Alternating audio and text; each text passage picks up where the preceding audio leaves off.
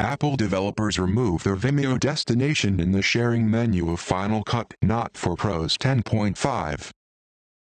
Here is how to get back the ability to upload to Vimeo without workarounds. Go to App Store. Search for Vimeo. Install. Open. Configure with your Vimeo account info. Choose Vimeo options. Choose Connect to Final Cut Not for Pros. Open Final Cut Not for Pros. Open Project.